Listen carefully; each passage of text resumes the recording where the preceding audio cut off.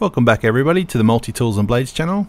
Today's episode we're going to have a look at this Spyderco Gayle Bradley 2, designed in collaboration with custom knife maker Gayle Bradley, as its name would suggest.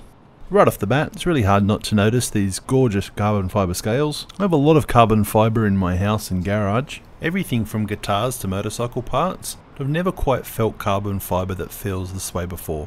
And it looks great too. We've got polished stainless steel liners and standoffs, one of my favourite things about this knife is that the liners sit proud to the scales.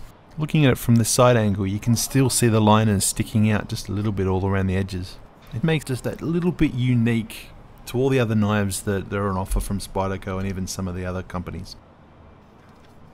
Alright, let's get to the business end of the knife. It's a beautiful shaped blade. Kind of reminds me of the old vintage CO3 Hunter. Like most of Spyderco's premium knives, this is made in Taichung, Taiwan, but surprisingly it's made from CPM M4, which is a powder metallurgy carbon steel. So the drawbacks are that it's not a stainless, so you have to keep it very well oiled. Even fingerprints will leave a permanent mark. But on the plus, it's very, very hard. I think it has a Rockwell hardness of 64. So you're not going to find another carbon steel out there that has a higher toughness. Yeah, there are higher ones like ZDP 189 and Maxamet, but they're stainless steels, so edge retention's not going to be so great. It really is a beautiful knife, both to look at and to feel.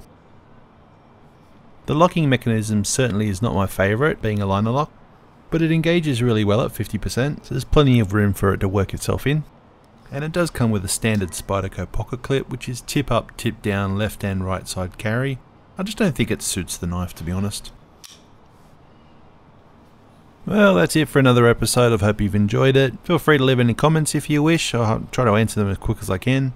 If you're new to the channel, don't forget to hit that like and subscribe button. Check out my older videos. And I'm going to catch you all next time.